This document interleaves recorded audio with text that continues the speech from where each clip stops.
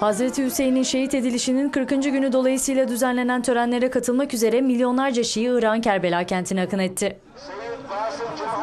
Erbayin törenlerine katılmak için kente gelen Şiiler Hazreti Ali'nin oğlu Hazreti Hüseyin için yas tutuyor.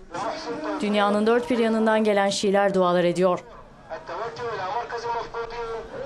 Irak'ta Şiilerin matem gününe ise kan bulaştı. Şiiler için kutsal olan Kerbela kentinde dün düzenlenen bombalı saldırılarda 18 kişi yaşamını yitirdi. Geçen hafta gerçekleşen intihar saldırılarında Erbain törenlerine katılmak üzere kente gelen Şiilerden 56 kişi öldürülmüş, 180 kişi de yaralanmıştı. Kerbela'da her yıl Hz. Muhammed'in torunu Hz. Hüseyin'in şehit edilişinin 40. gününde Erbain törenleri düzenleniyor.